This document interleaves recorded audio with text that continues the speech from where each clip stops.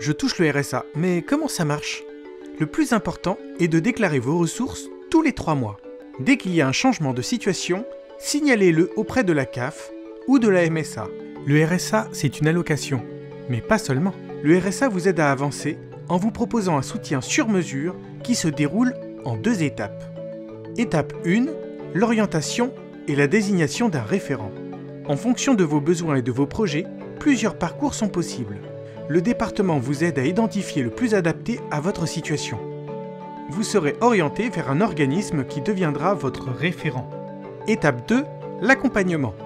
Vous pouvez avoir comme référent un conseiller Pôle Emploi, un conseiller socio-professionnel ou un assistant social. Avec lui, vous élaborez les étapes et actions à mettre en œuvre pour améliorer votre situation.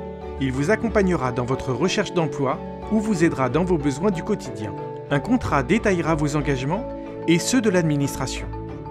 Restez en contact avec votre conseiller référent. Ces étapes sont obligatoires. Si vous passez à côté, votre RSA peut être suspendu. Votre implication dans la démarche vous aidera à rebondir et à sortir du dispositif RSA.